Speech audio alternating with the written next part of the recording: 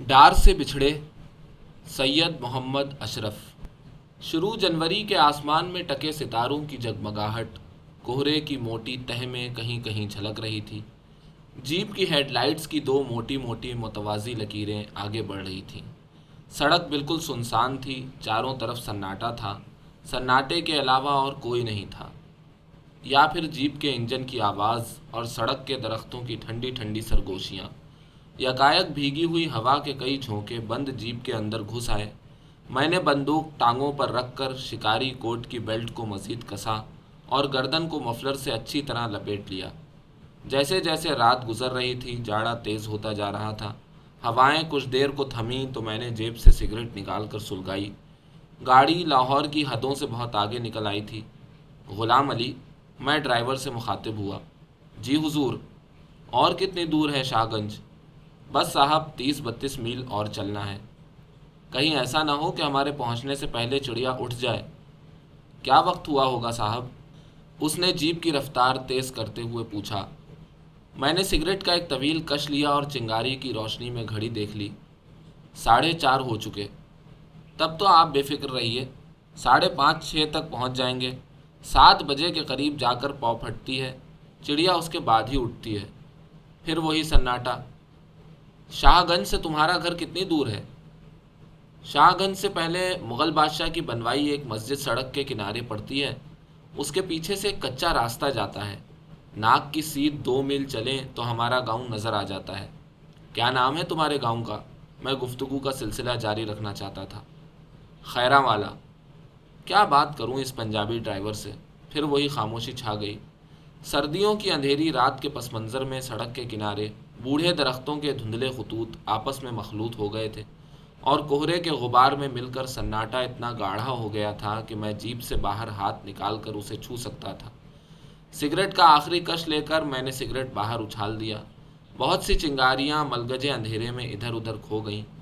साहब, आपको शिकार का शौक़ कब से है? बचपन से, ग़ुलाम अली। क्या हिंदुस्तान में शिकार खेलने देते हैं? गर्दन मोड़े बगैर उसने मुझसे सवाल किया। हाँ भाई सैंतालीस से पहले तो खेला जाता था। अब नहीं मालूम और अब तो ये भी खबर नहीं कि जिन दीवारों के बीच हम पले थे वो ढह गई कि सलामत हैं। आप तो यूपी के थे साहब। हम्म, मैंने उसे धीरे से जवाब दिया। मैंने चाहा कि ग़ुलाम अली से मना कर दूँ कि ऐसी कोई बात ना करे कि मुझे वो सब कुछ याद आ जाए। लेकिन मैं चुप रहा। मैं नहीं चाहता था कि कोई मेरी इस कमज़ोरी को जान सके। वरना, ए ग़ुलाम अली, ये जो तुमने अभी पूछा था कि आप यूपी के थे तो इस लफ्ज़ थे पर तुमसे घंटों बहस कर सकता हूँ। क्या पाकिस्तान आने के बाद मेरा उस ख़त्े ज़मीन से कोई नाता नहीं रहा, जहाँ मेरे बचपन ने ममता की लोरियाँ सुनी थी, जहाँ मेरे लड़कपन ने छोटे छोटे जज्बों से मोहब्बत करना सीखा था, जहाँ मेरे अक्लो होश के बालों पर निकले थे? लेकिन ये सब कैसे कहता? ये ग़ुलाम अली क्या समझता इन बातों को? और ग़ुलाम अली ही क्या? अब तो मैं ख़ुद भी नहीं समझ पाता। और समझता भी कैसे? तकसीम की मोटी मोटी लकीरों के नीचे उन सारे जज्बों के नकूश छुप गए थे। वो जज्बे जो सिर्फ़ वहीं का खासा होते हैं, जहाँ इंसान पहली बार आँख खोल कर देखता है। हवाएँ मज़ीद तेज़ हो गई थी और कोहरे की चादर वैसी की वैसी दबीस थी। तो साहब, आप फिर कभी हिंदुस्तान नहीं गए? ग़ुलाम अली ने पूछा था। सरकारी अफसर इतनी आसानी से नहीं जा पाते। सरकार पूछती है, किससे मिलने जा रहे हो? क्या कोई रिश्तेदार वहाँ नहीं है? सब बुजदिल थे, यहाँ आ बसे। मैं भी बुजदिल था, लेकिन छोटा बुजदिल। मेरी उम्र उस वक्त अट्ठारह साल थी शायद। हाँ अट्ठारह ही साल का था मैं। बुजदिली की क्या बात है साहब? वहाँ नहीं रहे, यहाँ आ गए। ग़ुलाम अली ने जैसे मुझे दिलासा दिया। लेकिन मैं भला दिलासों से बहलता। ये बहुत लंबा चौड़ा फ़लसफ़ा है ग़ुलाम अली, तुम नहीं समझोगे। वो थोड़ी देर खामोश रहा जैसे मैंने उसकी बेइज्जती कर दी हो। मेरी बीवी के माँ बाप भी भारत ही के थे, साहब। मुझसे बहुत ज़िद करती है कि एक बार हिंदुस्तान दिखा दूँ। मैंने दरख्वास्त दी तो पूछा गया कि वहाँ रिश्तेदारों के नाम पते लिखवाओ। वहाँ कोई रिश्तेदार ही नहीं है, साहब। बस उसे अपने गाँव और ज़िले का नाम याद है। सन्नाटा हम दोनों पर खामोशी से गुज़रता रहा। ग़ुलाम अली, मैं उससे मुखातिब हुआ। जी, उसने मुड़कर मेरी तरफ़ देखा। तुम्हारी बीवी कहाँ की रहने वाली थी? मैंने उसकी तरफ़ देखे बगैर सवाल किया। हरदोई ज़िले की साहब। हम्म, यूपी की है तुम्हारी बीवी। जी हुजूर मैंने अंधेरे में भी महसूस कर लिया कि वो मुस्कुरा रहा है। मैंने जान लिया तुम इस वक्त क्यों मुस्कुराए ग़ुलाम अली। साहब एक बात कहूँ आपसे। मेरी बीवी को मालूम है कि आप यूपी के हैं। मुझसे कह रही थी कि तुम्हारा साहब यूपी का है मेरे वतन का। मुझे उसके पास ले चलो वो मेरा परमिट बनवा देगा। तो हुजूर उसे मालूम है कि आज आप शिकार खेलने आ रहे हैं तो घर पर भी थोड़ा सा रुकेंगे। वो आपसे कहे तो ज़रा सख्ती से मना कर दीजिएगा कि उसका परमिट नहीं बन सकता। क्यों गुलाम अली ऐसा क्यों कहूँ मैं? पासपोर्ट तो मैं उसका किसी न किसी तरह बनवा ही सकता हूँ। पासपोर्ट की बात नहीं साहब। आदमी की ज़िंदगी में एक ही झंझट थोड़ी होता है। उसे तो बेकार का शौक़ है भारत जाने का। उसका शौक़ पूरा करने में मेरे चार पाँच सौ उठ जाएँगे। हम्म, मेरी समझ में ना आया उसे क्या जवाब दूँ। ग़ुलाम अली ने मेरी खामोशी से फ़ायदा उठाया। साहब, मेरा एक दोस्त है, वज़ीरुद्दीन। उसकी बीवी भी भारत ही में पैदा हुई थी। उसने चोरी छुपे परमिट बनवा लिया और फिर कानून का जेवर बेचकर वज़ीरुद्दीन से इजाज़त मांगी। वज़ीरुद्दीन को मालूम हुआ तो उसे अचंबा हुआ और गुस्सा भी आया। उसने ऊपरी दिल से इजाज़त दे दी और रात को उसके बक्से से परमिट निकाल कर जला दिया। सुबह उठी तो परमिट गायब उसने बड़ा फैल मचाया और वज़ीरुद्दीन से कहा कि ये उसी का काम है। वज़ीर ने पहले तो बहाने मिलाए और फिर साहब डंडा लेकर जुट पड़ा कि हराम हरामजादी तीन चार महीने तक क्या तेरी अम्मा मुझे रोटी पका कर खिलाएगी? ग़ुलाम अली ने सड़क से नज़रें मोड़कर मेरी तरफ़ ऐसे देखा, जैसे अपने दोस्त की बहादुरी और दानिशमंदी की दाद चाहता हो। मैं खामोश रहा। अंधेरे में वो मुझे साफ़ साफ़ नहीं देख सका। समझा कि मैं बैठे बैठे सो गया हूँ। उसने मेरी तरफ़ से गर्दन मोड़कर सड़क को देखा और जीप की रफ्तार कुछ और बढ़ा दी। रफ्तार बढ़ी तो हवा कुछ और तेज़ महसूस होने लगी। मुझे अभी अभी ये भी महसूस हुआ कि जीप के बाहर सड़क पर और दरख्तों पर हवाएँ बहुत तेज़ हो गई हैं और दरख्त के पत्तों से कुछ ऐसी आवाज़ें फूट रही हैं जो माहौल को बेहद पुरस्रार बना देती हैं। बाहर के उस पुरशोर माहौल में मुझे ऐसा महसूस हुआ कि जीप में बेपनाह खामोशी है। जैसे बिफरी हुई मौजों के समुंदर में कोई अकेला जहाज़ चला जा रहा हो, जिसके अमले को बहरी कज़ाक़ों ने कत्ल कर दिया हो। मैंने बदन कुछ और सिकोड़ लिया और सोचा, ग़ुलाम अली, तुम बहुत कमीने हो और बहुत भोले हो। तुम और तुम्हारा दोस्त नहीं जानते कि उस जगह से बिछड़कर इंसान की क्या हालत हो जाती है, जहाँ उसने पैदा होकर माँ की छातियों से दूध पिया हो और बाप की शफीक उंगलियों का लम्स अपने सर पर महसूस किया हो। तुम्हें नहीं मालूम कि इंसान को वो जगह कितनी प्यारी लगती है जहाँ उसका बचपन, लड़कपन से गले मिला हो। तुम्हें इसका इल्म ही नहीं, ग़ुलाम अली, कि इंसान उन लम्हों को कितना अज़ीज़ रखता है, जिन लम्हों में उसका भोला भाला जहन मासूम, सर फिरे और ख़ुद सर जज्बों को खून पिला पिला कर पालता है। तुम कुछ नहीं जानते, कुछ भी नहीं। स्टेयरिंग का गोल पहिया घुमाते घुमाते तुम्हारा दिमाग भी घूम गया है। मुझे महसूस हुआ कि इतना सोचने के बाद मुझे एकाएक ही ग़ुलाम अली से नफ़रत हो गई। मेरे अंदर से कोई बोला, तुम ग़ुलाम अली से नफ़रत नहीं कर रहे हो, तुम वही कर रहे हो जो पिछले तीस साल से करते चले आ रहे हो। तुम्हें अपनी महरूमियाँ नज़र आ गई ना? तुम ग़ुलाम अली जैसे हर उस फ़र्द से फ़ौर नफ़रत करने पर आमादा हो जाते हो, जो तुम्हारी महरूमियों की इमारत में एक छोटी सी ईंट रखने का भी ख़तावार हो। उस बेचारे ने क्या किया? सिर्फ़ अपनी बीवी और अपने दोस्त की बीवी के मुतालिक बताया था। बस थोड़ी देर को अनजाने में ये एहसास दिला दिया या यूँ कहो कि तुम्हें याद दिला दिया कि तुम हिंदुस्तान कभी नहीं जा सकते। इसलिए तुम उससे नफ़रत करने लगे। अपनी महरूमियों की आड़ लेकर उस बेचारे पे क्यों बिगड़ रहे हो? मेरा अंदर वाला बहुत खुदसर हो गया है। मेरा अंदर वाला बहुत खुदसर हो गया है कुछ अरसे से। पैंसठ और इकहत्तर की लड़ाइयों के बाद तो ये कुछ और भी बेबाक हो गया है। ऐसे ऐसे सवाल पूछ बैठता है कि जवाब नहीं बन पड़ते। जैसे मौत की सज़ा का फ़ैसला सुनने के बाद मुजरिम मनमानी हरकतें करने लगता है, जानता है कि इससे बड़ी सज़ा मुमकिन नहीं। वैसे ही ये भी हर खौफ, हर ख़तरे से आज़ाद हो गया है। बिला सोचे समझे हर बात कर गुज़रता है। अब क्या जवाब दूँ इसे? मुझे महसूस हुआ कि अब दिमाग में सोचने के लिए कुछ नहीं रहा। जैसे जहन के तालाब से सोच की सारी मुर्गाबियाँ उड़ गई हूँ। मैंने सर पीछे टिका लिया। साहब, ग़ुलाम अली ने दबी दबी आवाज़ में मुझे पुकारा। इतने धीमे कि अगर मैं ज़रा भी नींद में गाफिल होता तो नहीं सुन पाता। शायद उसका भी यही मकसद हो। हम्म? मैंने महसूस किया कि मेरी आवाज़ कुछ अजनबी सी हो गई है। साहब, आप सो गए थे क्या? उसने पूछा। नहीं। क्यों? कोई ख़ास बात? नहीं हुजूर, वैसे आपने देखा जब से लड़ाई के बाद रास्ते खुले, लोग कितने खुश खुश भारत जा रहे हैं और वहाँ वाले कितने हँसते बोलते पाकिस्तान आ रहे हैं। रास्ते खुले कितने ही दिन हो गए, मगर अब तक तांता सा लगा है। खामोशी, मैं खामोश रहा।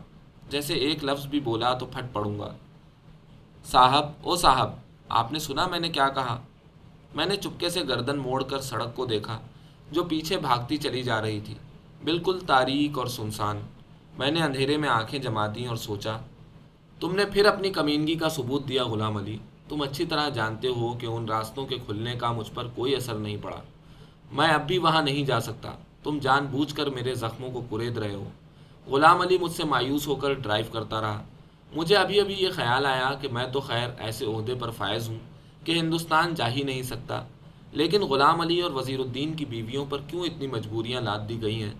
उन्हें उस सरजमीन को देखने की इजाज़त क्यों नहीं दी जाती, जिसके तस्वुर के बगैर उनकी ज़िंदगी की तारीख अधूरी है?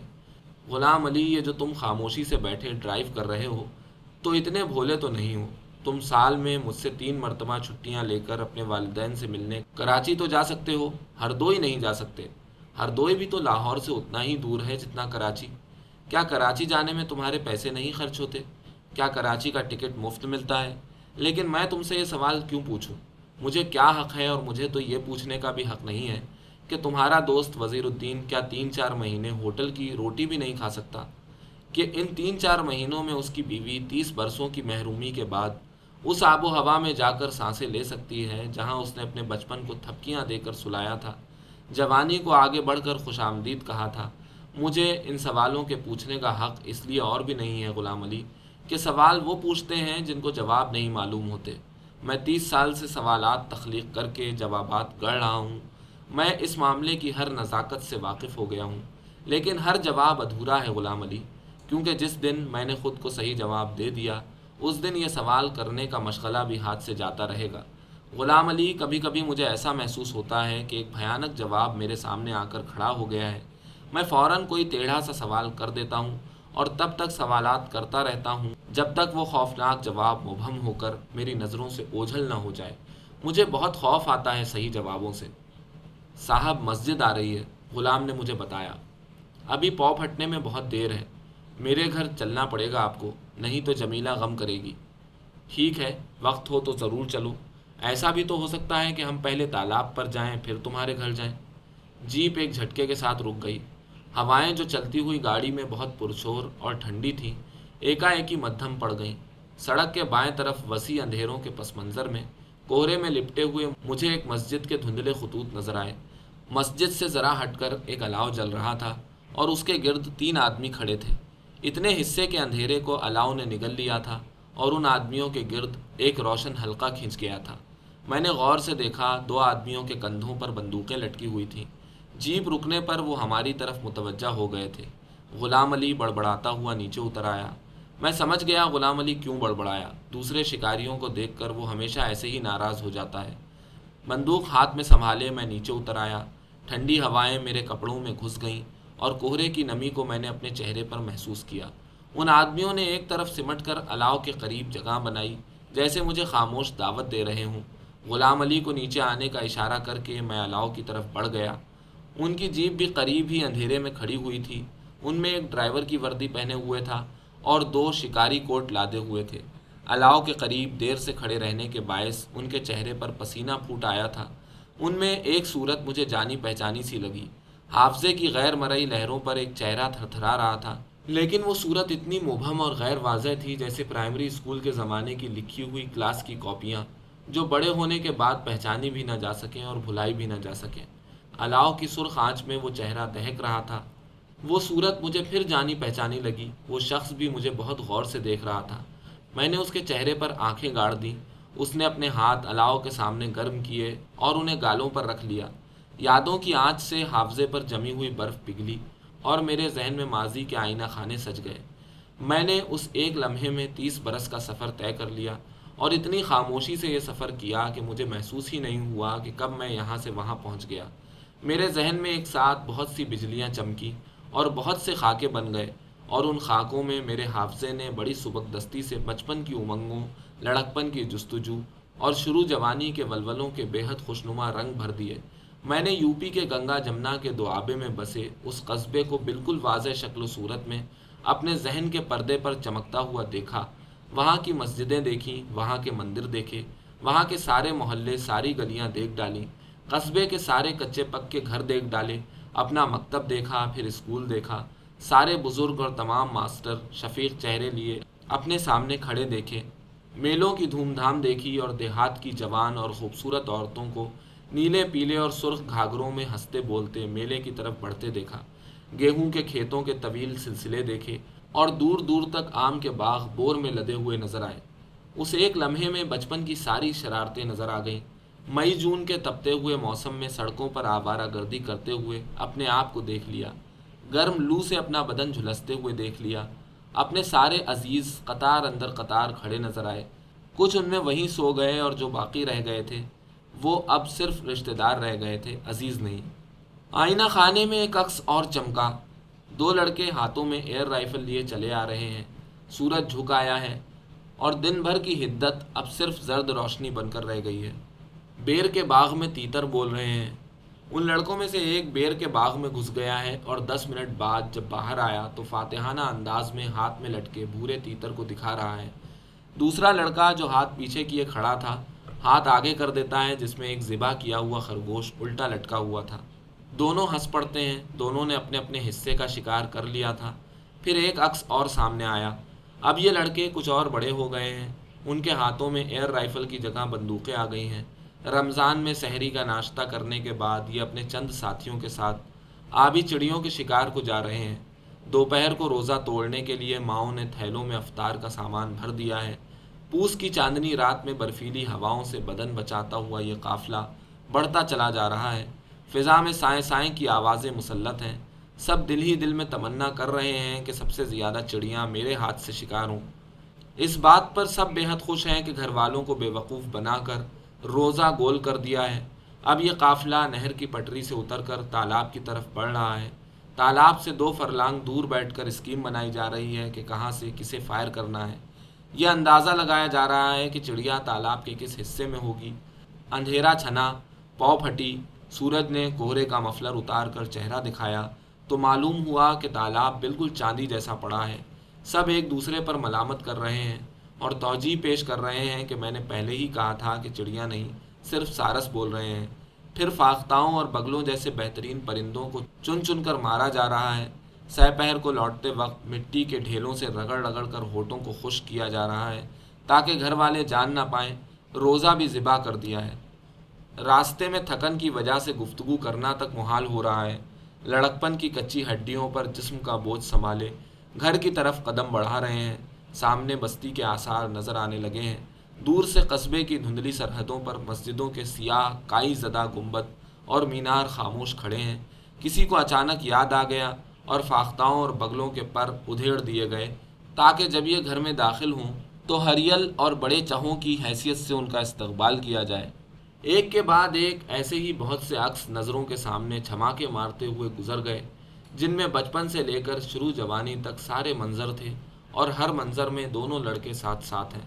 साहब, अब चलिए गाँव की तरफ़। आईना खानों में ग़ुलाम अली की आवाज़ ने पत्थर मारा और सारे आईने चटक के टूट गए। सारे मनाजिर आपस में गडमड हो गए। मैंने ग़ुलाम अली की बात का जवाब नहीं दिया। मैंने हिसाब लगाया कि यादों की कितनी चिड़ियाँ अभी मेरे जहन के पिंजरे में बंद हैं और सामने खड़ा ये शिकारी मेरी कितनी यादों का हासिल जमा है। उसने फिर हाथों को गर्म करके चेहरे पर रखा। नवाब भी तो ऐसा ही करता था। और अब मुझे यकीन कामिल था कि आईना खाने का वो लड़का अपनी उम्र में एकदम तीस बरस जोड़कर मेरे सामने खड़ा है। यकायक हवा बिल्कुल खामोश हो गई। अलाव में जलती हुई दरख्तों की टहनियाँ चटाचट बोली, चिंगारियाँ फ़िज़ा में उड़ने लगीं। दूर किसी सोए हुए तालाब में कोई सारस ज़ोर से चीखा। मैंने आहिस्तगी से अलाव की तरफ़ एक कदम बढ़ाया और उस शख्स की आँखों में आँखें डालकर पूछा, आप, तुम तुम नवाब हो? उसकी फैली हुई आँखें एक सानियों को सुकड़ गईं। उसका सर नफ़ी में हिला।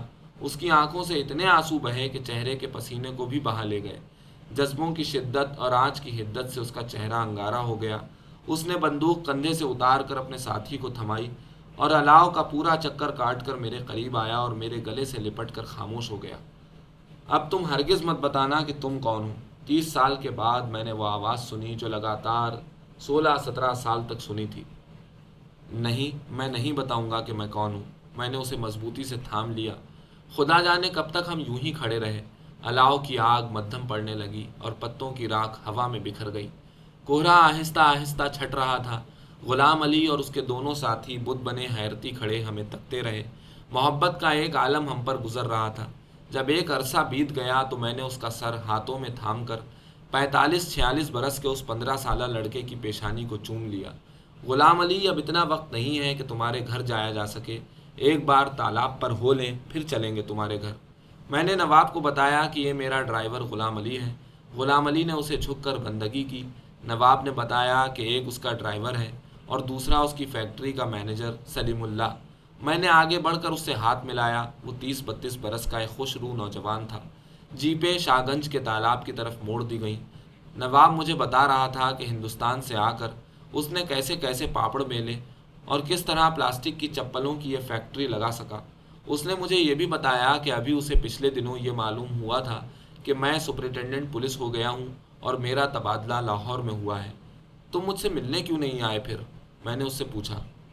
मुझे यकीन नहीं था कि वाकई तुम ही होगे। बस नाम सुना था। वो मुझे बता रहा था और मैं सोच रहा था कि शख्सियतें कितनी बेनिशान हो गई हैं। कि नाम मौजूद होने के बावजूद नहीं पहचानी जाती। लेकिन उसमें अकेले नवाब का दोष नहीं है। मैं भी तो अखबारों में नवाब एंड सन्स का इश्तहार देखकर चौंका था, लेकिन फिर ये सोचकर चुप हो रहा था कि क्या खबर ये कोई और नवाब हो। हम सब एक से गुनहगार हैं। हमें हरगिज़ ये हक़ नहीं पहुँचता कि हम एक दूसरे पर इल्ज़ाम लगाएँ। तुम कराची से क्या शिकार खेलने आए हो सिर्फ़? मैंने उससे पूछा। नहीं भाई, फैक्ट्री के काम से लाहौर आया था। प्लेन का टिकट कल का है। सोचा, एक दिन मिला है, शिकार खेल लूँ।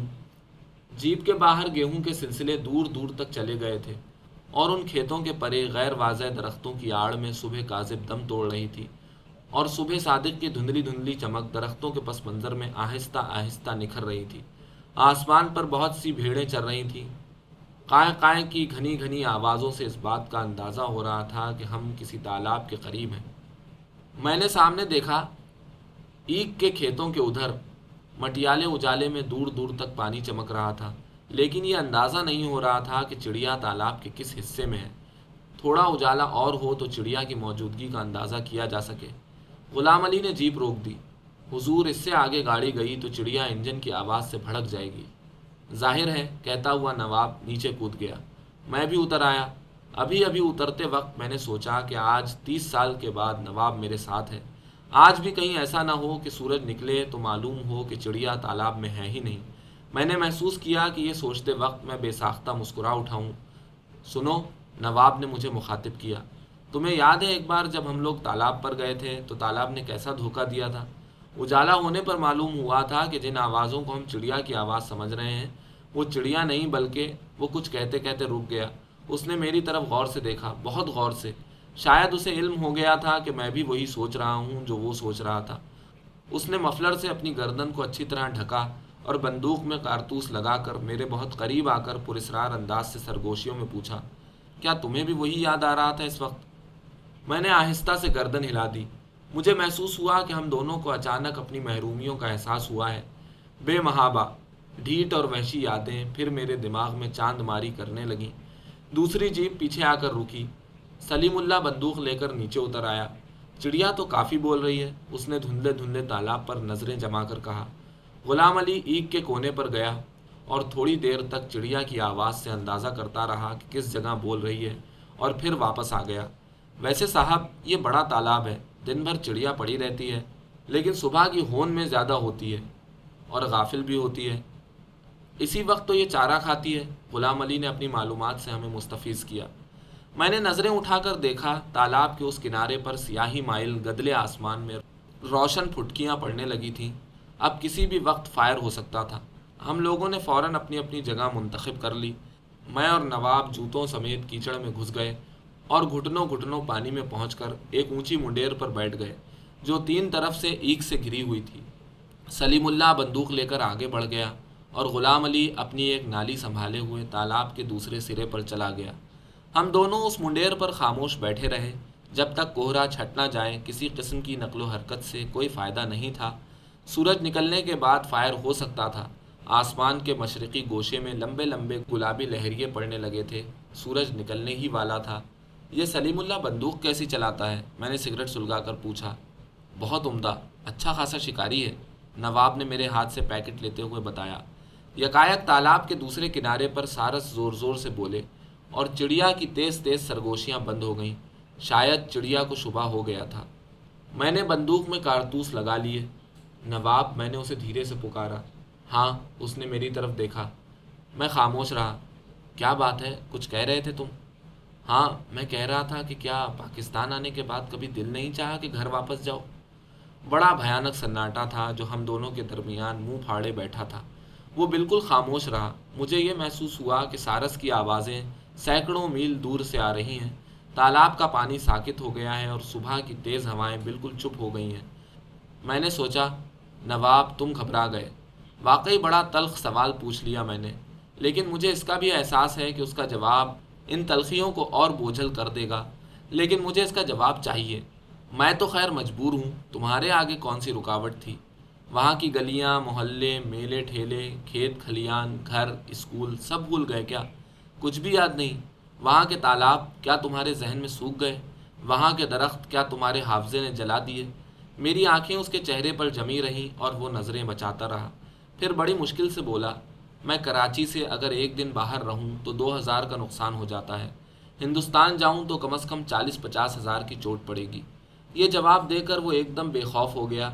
मुझे उसकी आँखों से अंदाज़ा हुआ जैसे वो पूछ रहा है क्यों दोस्त, तुम भी तो यह नौकरी छोड़कर हिंदुस्तान जाकर सब कुछ देख सकते थे। तुम क्यों नहीं गए? बोलो, अब मेरी बारी है। मुझे उसकी आँखों से बड़ा खौफ महसूस हुआ, जैसे वो मेरी ज़ात की गहराइयों में अंदर घुसकर कोई ऐसी चीज़ तलाश कर रही हूँ, जो मैं सामने लाना नहीं चाहता। लेकिन नवाब ने मुझसे कुछ नहीं पूछा। मैंने उस पर तरस नहीं खाया था, मगर उसने मुझ पर रहम किया। हम दोनों ने एक लम्हे के बाद सिर्फ़ एक ही बात सोची कि हम लोग बहुत बेख्तियार हैं। और बहुत लाचार हैं और बहुत मजबूर हैं और बहुत बेबस हैं। मैं अगर एक बार हिंदुस्तान जाने के लिए इस मुलाजमत से इस्तीफ़ा दे दूँ तो घर वालों की ज़िंदगी की गाड़ी कैसे आगे बढ़ेगी?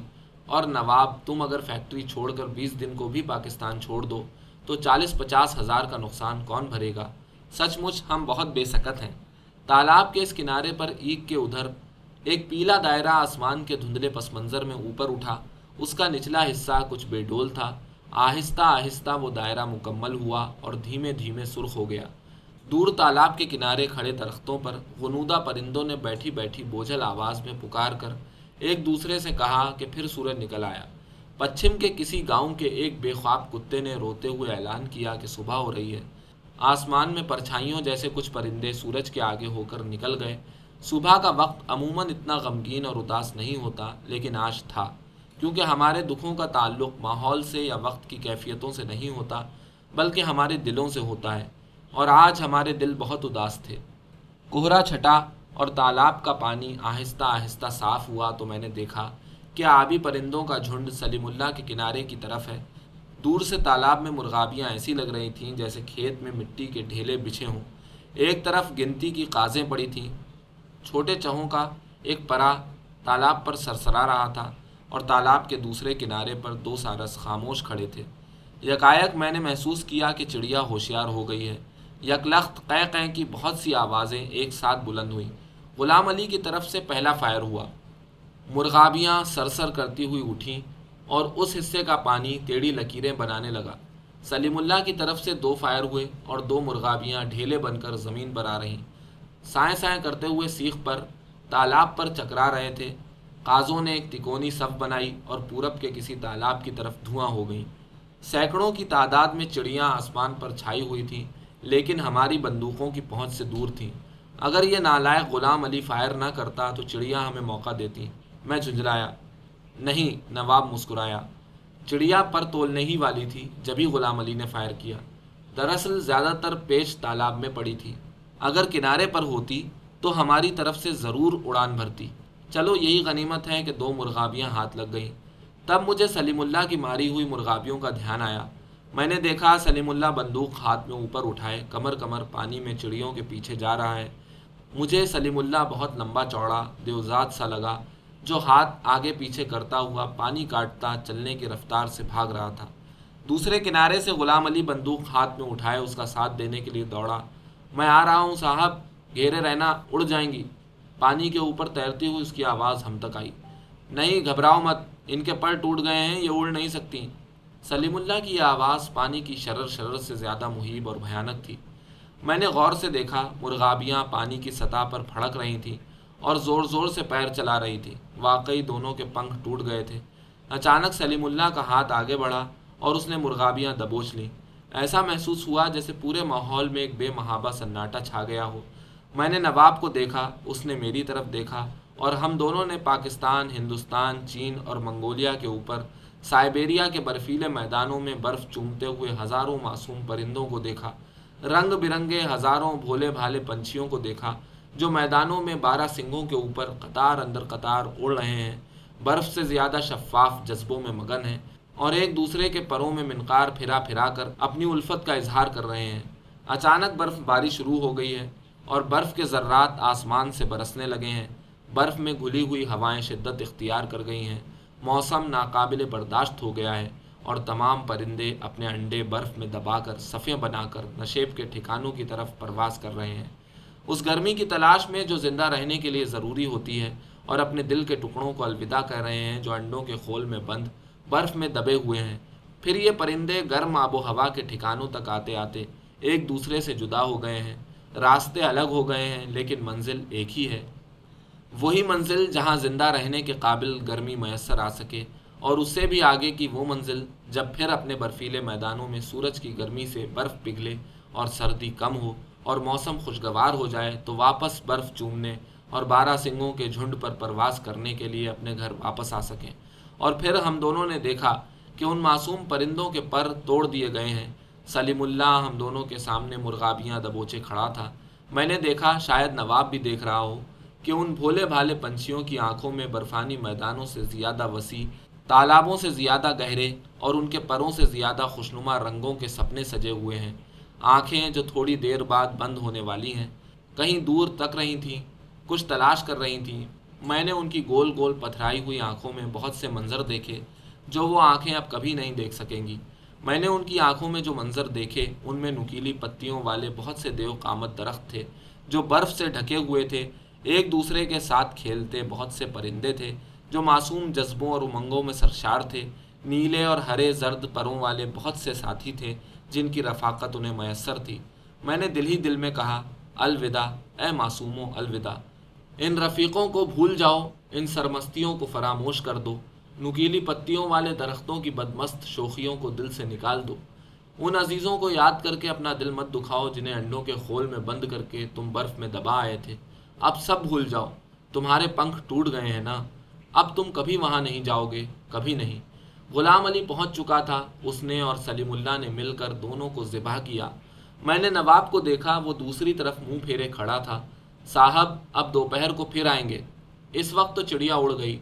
दोपहर को फिर पड़ेगी, तब तक घर चलिए, कुछ नाश्ता पानी कर लीजिए। मैंने तालाब की तरफ़ एक नज़र देखा, पानी कफन के कपड़े की तरह यहाँ से वहाँ तक फैला हुआ था, बिल्कुल खामोश और गंभीर। सड़क पर सन्नाटा था और जीप में खामोशी। ऐसे ही हम गुलाम अली के घर तक पहुँचे। ये मेरा झोपड़ा है, गुलाम अली ने जीप रोक दी।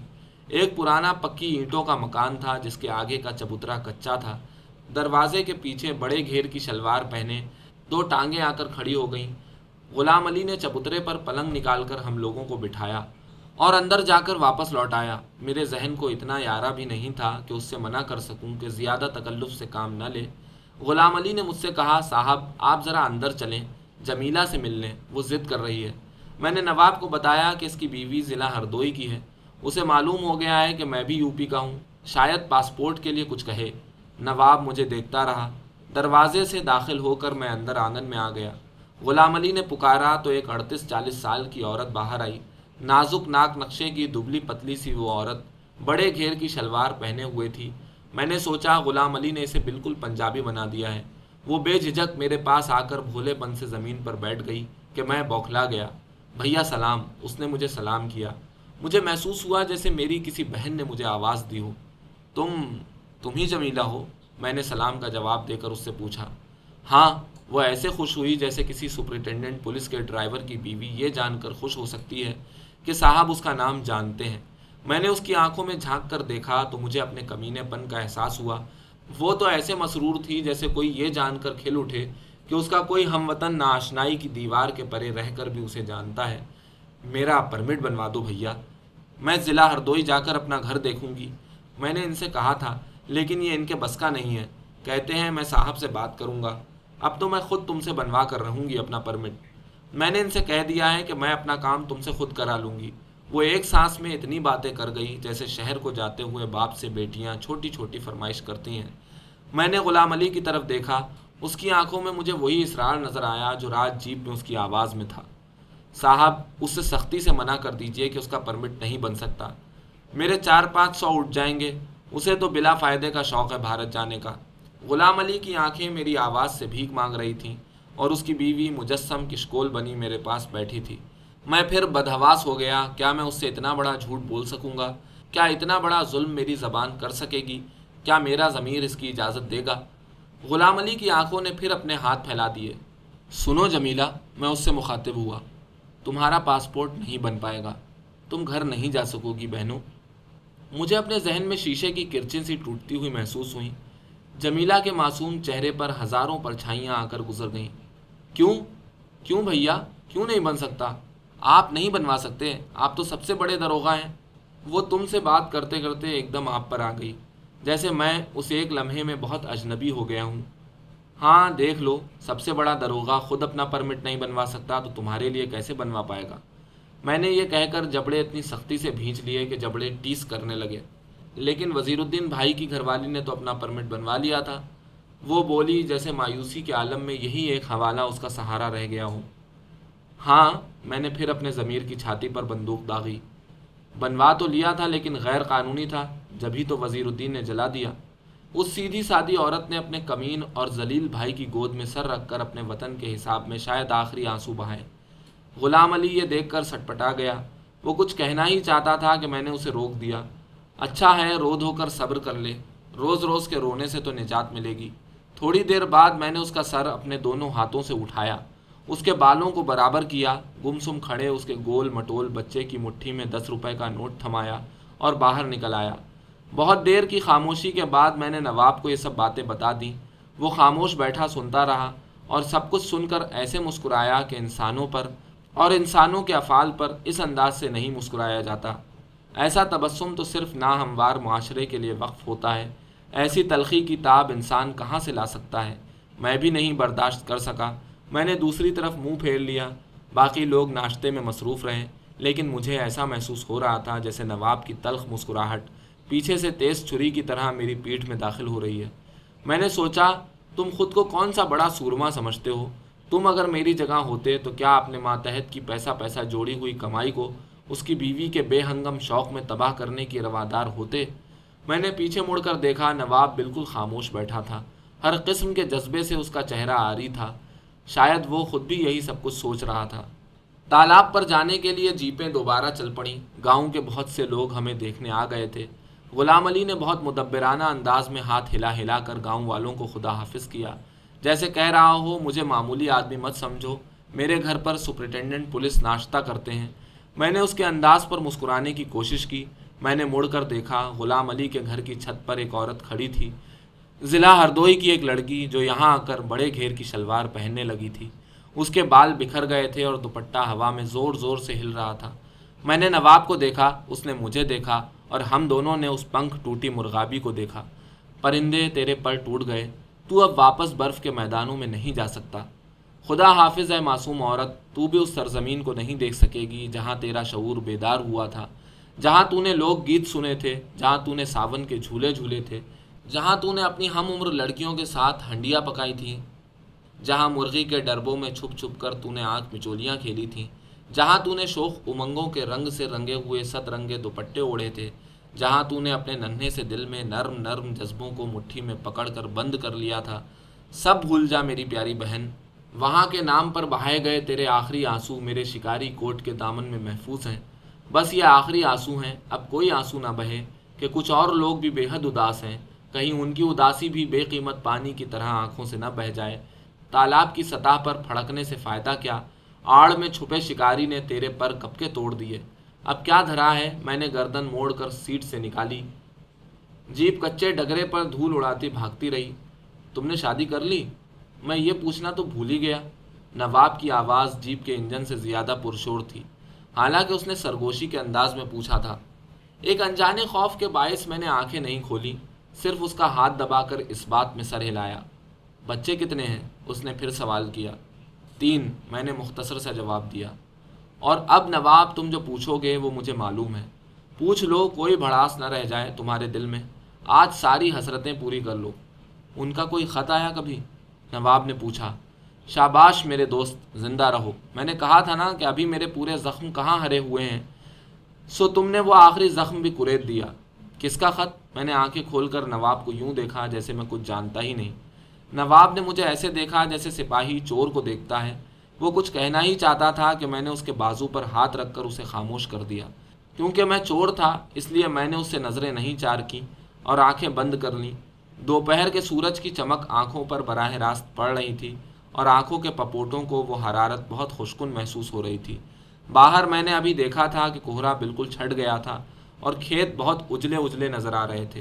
तालाब दूर था और माजी के आईना खाने का सबसे रंगीन अक्स, जिसकी तामीर में सिर्फ़ लफाजी काम नहीं देती, बल्कि उस तस्वीर को मुकम्मल करने के लिए खून जिगर की आमेज़श की ज़रूरत होती है। मेरी मोहब्बत का अक्स मेरे सामने चमक रहा था। पैदा होने से लेकर नब्ज़ रुकने तक ये जज्बा कितने रूप बदलता है। लेकिन इसका हर रुख खुशगवार होता है। माँ के दूध से मोहब्बत हो या बाप की शफीक गोद से। भाई की मोहब्बत हो या बहन की चाहत।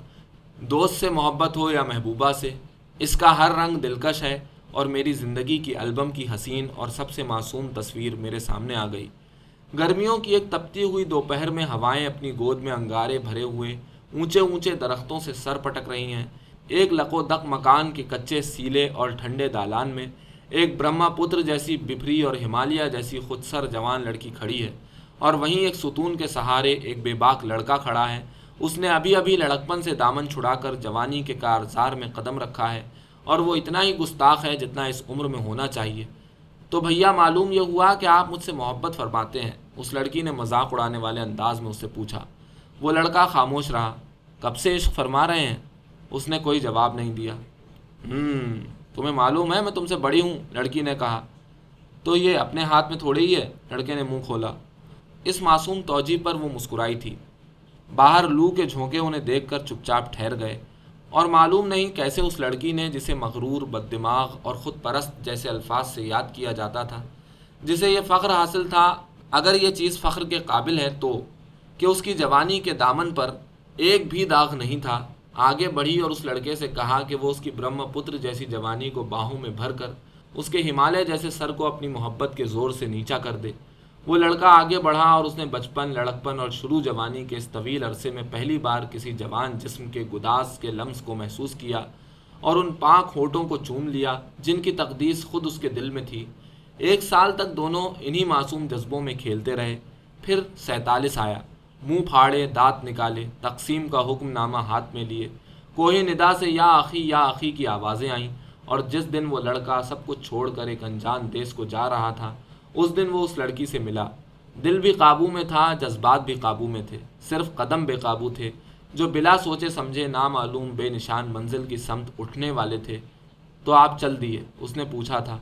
उस लड़के के पास जवाब देने को अल्फाज तो बहुत थे, पर हिम्मत नहीं थी। वहाँ जाकर मजनू फरहाद बनने की ज़रूरत नहीं है। जहाँ वालदेन कहें, शादी कर लेना, समझे? वो लड़का लड़कियों की तरह रोने ही वाला था कि उस लड़की ने मर्दों की तरह उसे दिलासा दिया, खोखले दिलासे, कि तुम दो चार साल बाद आना और मुझे ब्याह कर ले जाना। दोनों जानते थे कि यह नामुमकिन है, लेकिन दोनों एक दूसरे को इत्मीनान दिलाते रहे कि इसके अलावा चारा भी क्या था। तो फिर यूँ हुआ कि बर्फ़बारी होने लगी, बर्फ़ के ज़र्रात आसमान से बरसने लगे हवाएँ शिद्दत इख्तियार कर गईं, मौसम नाकाबिल बर्दाश्त हो गया और परिंदों का वो झुंड ज़िंदा रहने के काबिल गर्मी हासिल करने के लिए दूसरी सरहदों में चला गया।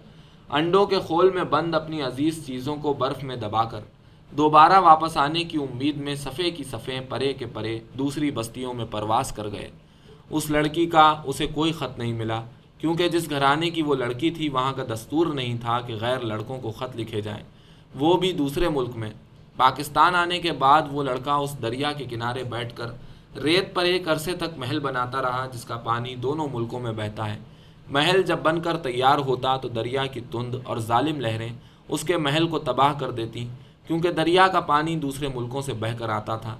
अगर दूसरे मुल्क में इसी दरिया के किनारे पर कोई और लड़का महल बनाता और लहरें उसे बर्बाद कर देती तो वो लड़का भी यही सोचता कि पानी दूसरे मुल्क से बहकर आ रहा है।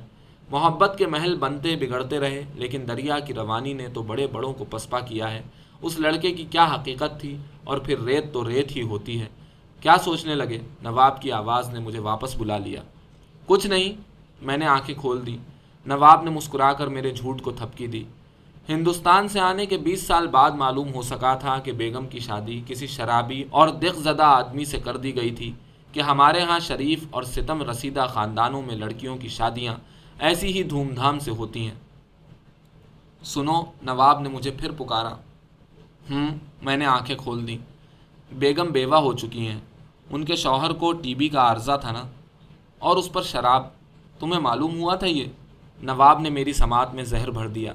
मेरे कानों के करीब हज़ारों की तादाद में छोटे छोटे तीर साए साए कर रहे थे, जिनकी नोकें बहुत तेज़ और चमकती हुई थीं।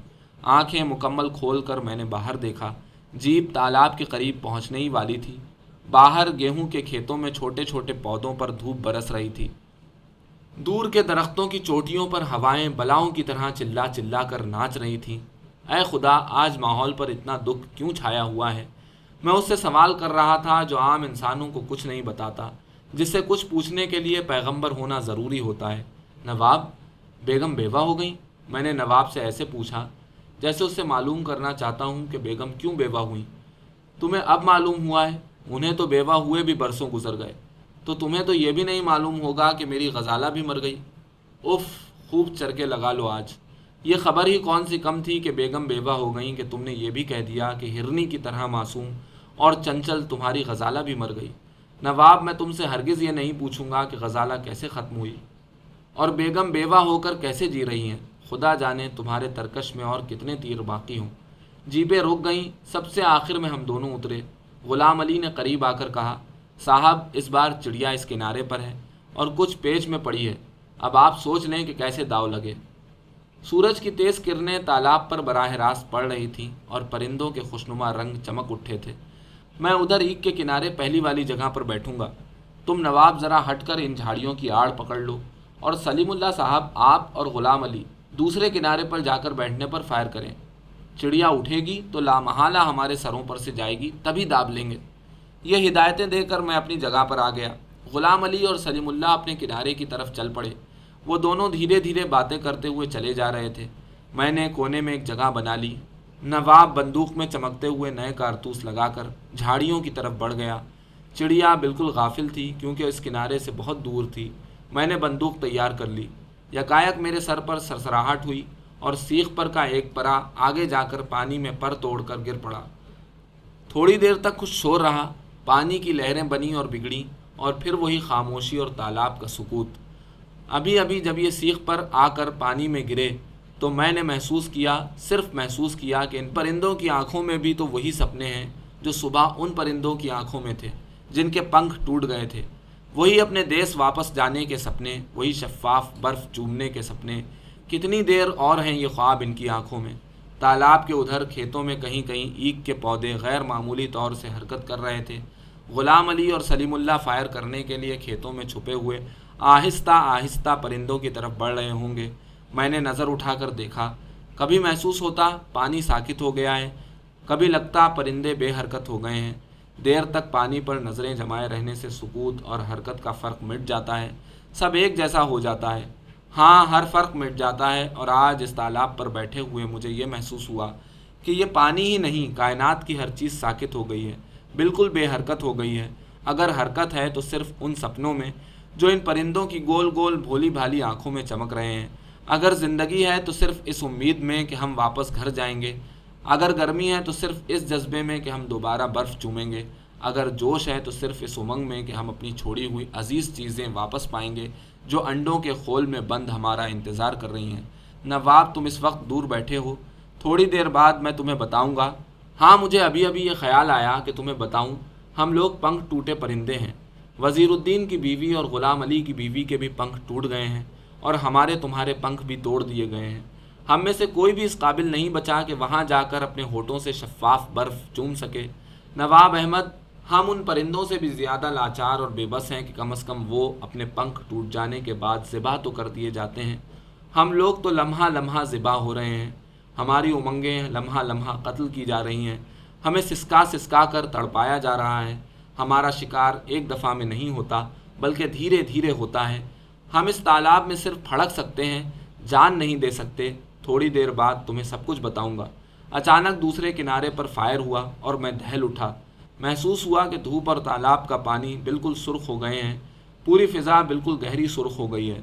जाने कितने तालाब में फड़के, जाने कितनों के पंख टूटे, चिड़िया ने उड़ान भरी और छोटी छोटी टोलियों में बटकर प्रवास करने लगी। नीची उड़ान करता हुआ एक परा मेरे सर पर से गुजरा। मैंने बंदूक उठाई तो मैंने देखा कि मेरे हाथों पर खून लगा हुआ है। मैंने गौर से देखा तो मालूम हुआ कि इतना चमकता हुआ खुशरंग लहू किसी जानदार का नहीं हो सकता। ये थकी हुई जागती आँखों के ख्वाबों का खून था। बर्फ़ के मैदानों में वापस जाने की उमंगों का खून था। एक दूसरे के परों में मिनकार फिरा फिरा कर उल्फत और रफाकत का इजहार करने के जज्बों का खून था। खुदा जाने कैसे बंदूक नीचे झुक गई। परिंदे नवाब के सर पर साए साए कर रहे थे। गुलाम अली चिल्ला रहा था। हम दोनों से कह रहा था, हुजूर दागो हुजूर दागो। ऊपर आ गई हैं, ऊपर। मैंने अपने हाथों को जिन पर खून चमक रहा था, करीब लाकर पूछा कि मुझे बताओ कि मैं किससे पूछूँ कि बेगम अब कैसे जी रही हैं? और जी भी रही हैं या किसी कच्ची कब्र में अपने अरमानों के कफन में लिपटी सो रही हैं? मुझे कैसे मालूम हो कि गजाला क्यों मर गई? वो बुज़ुर्ग और मास्टर अब वहाँ हैं या उनके शफीक चेहरे वक्त की धूल में अटकर कहीं खो गए? वो घर अब घर है या खंडर हो गया? जहाँ हमने ताज महल से ज़्यादा हसीन महल बनाए थे वहाँ के नौ उम्र लड़के अब भी मई, जून में अपने कोमल बदन धूप में झुलसाते हैं या नहीं? लेकिन हाथों पर अब खून कहाँ था? वो तो बस उसी वक्त जाने कहाँ से आन टपका था जब परिंदों पर मैंने बंदूक उठाई थी। मैंने परिंदों की एक सफ़ को पूरब की तरफ़ धुआँ होते देखा। मैंने उनसे चुपके से कहा, देखो, पर सलामत तो लेकर जा रहे हो, लेकिन इतना करना कि हिंदुस्तान पर से गुज़रो तो उन लोगों का मातम कर लेना जो यहाँ से जाकर बेवतन हो गए थे। देखो, जर्मनी की तरफ़ भी ऐसे ही किस्से हैं। वहाँ से अगर गुज़रो तो थोड़े उदास हो जाना। हमें तो तुमने देख ही लिया, लेकिन हम अकेले थोड़े ही हैं। वज़ीरुद्दीन की बीवी है, नवाब है। हर जगह तुमको ऐसे कितने ही शिकस्ता पर मिलेंगे। जहाँ किसी को देखना तो समझ लेना कि ये भी बर्फ़ चूमने के सपने देख रहा है।